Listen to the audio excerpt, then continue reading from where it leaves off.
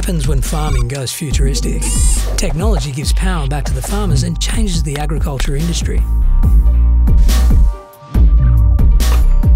In the future, I see farmers trading digitally via their mobiles, capturing a significant percentage of the value, assessing investment and finance, and pre-selling ahead of time. The sale might be to someone in Shanghai, and this enables them to change what they do ahead of time.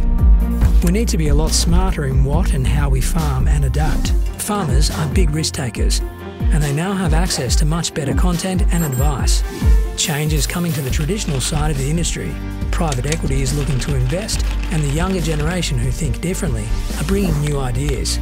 Agriculture is becoming sexy again.